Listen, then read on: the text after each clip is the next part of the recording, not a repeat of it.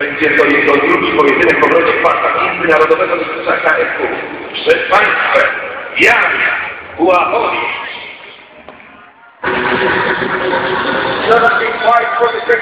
federation.